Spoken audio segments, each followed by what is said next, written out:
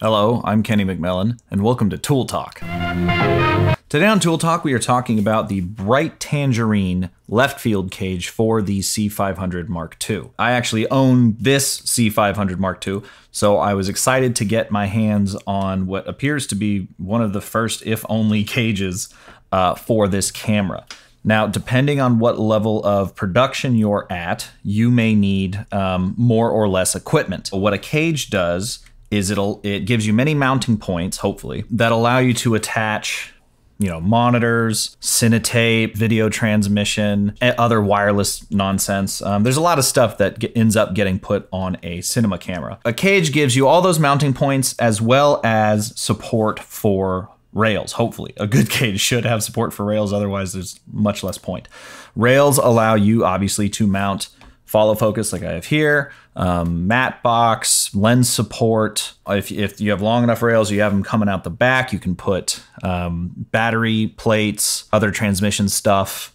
Uh, with these top rails, actually, you can put I would put like a focus motor up there. Maybe your your monitor's attached in an interesting way. Now, cages are cages, but the two key features of this one are the slidable top handle here, which for the C500 is kind of important because if you put the uh, adapter module on the back and you put a V-lock on it, it's going to become more back heavy. So uh, you can scoot that back or forward if you've got a big lens and no back, you know, whatever you need. And the open up base plate here at the bottom, which allows you to attach this to any ARRI style dovetail, even ones that are out of spec, because there's a little bit of flexibility here. You unlock it, and then that way you can scoot it forward or back. But if you need to, you can unlock it more and it'll just come right off instead of needing to slide it or anything.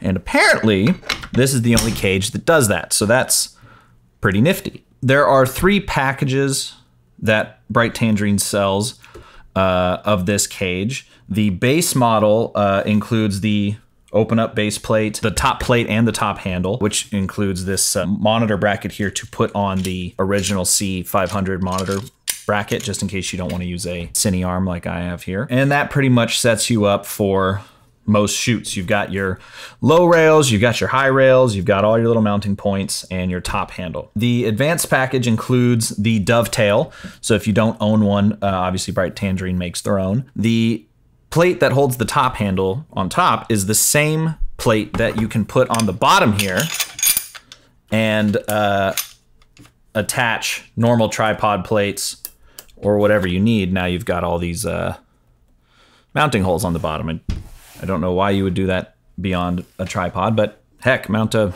you know, maybe maybe you're shooting a vertical video for web with your 6K RAW camera, and you need to mount a handle to the bottom, you know. So there you go. That's that's one reason right there.